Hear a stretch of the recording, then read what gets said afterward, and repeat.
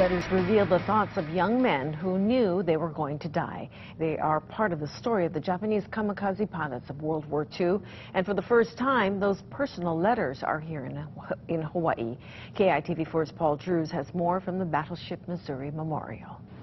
The Mighty Mo's big guns are now silent, but during World War II, the powerful guns made battleships like the USS Missouri a tempting target, especially for kamikaze pilots during the Battle of Okinawa. And over 5,000 sailors died during that battle as a result of kamikaze attacks. So it was uh, a clear danger to all the ships, but particularly the battleships, which provided a very important covering fire for all the landing forces and uh, for all the forces that were, that were fighting on the island. 70 years ago, one Japanese pilot managed to avoid the anti-aircraft fire and barreled into the starboard side of the ship.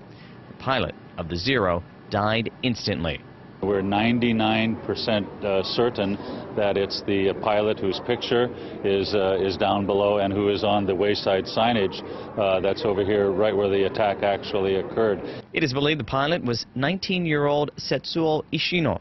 He's just one of a number of kamikaze pilots in a new exhibit at the Mighty Mo that features more than just personal items and pictures. And it contains letters, uh, the last letters from a number of kamikaze uh, before they went off to do their duty. Those letters came from the Chiran Peace Museum and were brought here by the city's mayor to mark the anniversary of the attack on the Missouri and honor what happened next on her deck.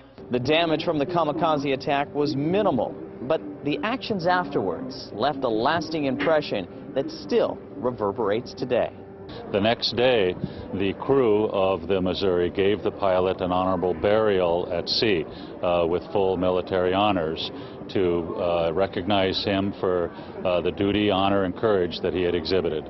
Even as lookouts scanned the skies for more attackers, the captain of, and crew of the Missouri held a military funeral for the dead pilot with honor and respect.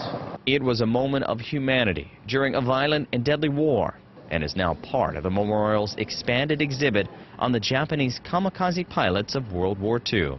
On board the Mighty Mo, Paul Drewes, KITV4 News. The exhibit will be up permanently at the USS Missouri Memorial.